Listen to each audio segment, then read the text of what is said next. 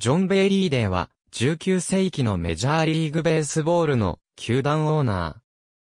ー。アメリカ合衆国コネチカット州コルチェスター生まれ。現在のサンフランシスコジャイアンツの創設者、及び初代オーナー。デーは1870年代までに、ニューヨークマンハッタンで、タバコの卸売業で財を成した実業家であった。野球好きでもあったデーは、1880年のある日、アマチュアの野球の試合を見に行った際、ジム・マトリーと出会う。この出会いをきっかけに、デーは、マンハッタンを本拠地とするプロの野球チームの創設に動き出すことになる。デーは、当時のポログラウンズの所有者、ジェームス・ゴードン・ベネットと交渉し、野球の試合でのポログラウンズの借用権を得た後、同年ニューヨークメトロポリタンズというプロ球団を創設、マトリーがチームの監督に就任した。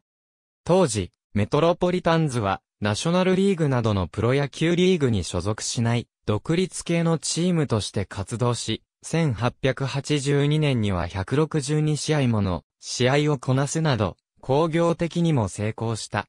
人気球団となったメトロポリタンズは、1882年のシーズン終了後、ナショナルリーグとアメリカンアソシエーションの両方からリーグ加盟の要請を受けるが、この時デーとマットリーは大胆にも両方のリーグに加盟することを打診していた。デーは、その後、前年に破綻したナショナルリーグのトロイトロージャンズのフランチャイズ権を買収し、新たな球団、ニューヨークゴサムズを創設。前年、トロージャンズに所属した選手の大半をゴサムズに移し、メトロポリタンズをアメリカンアソシエーションに、ゴサムズをナショナルリーグに加盟させた。両チームは同じポログラウンズを本拠地とし、当時ポログラウンズにはダイヤモンドが2つ描かれ、フィールドを2つに仕切って試合が行われていた。メトロポリタンズは1884年にアメリカンアソシエーションで優勝するなど強豪チームとなったが、例は徐々に収益の大きいゴサムズに注力するようになり、選手をメトロポリタンズから移すようになる。ゴサムズがジャイアンツとチーム名を変えた1885年に、例はメトロポリタンズを売却、有力選手で固められたジャイアンツは1888年、1889年と、ナショナルリーグを2連覇する。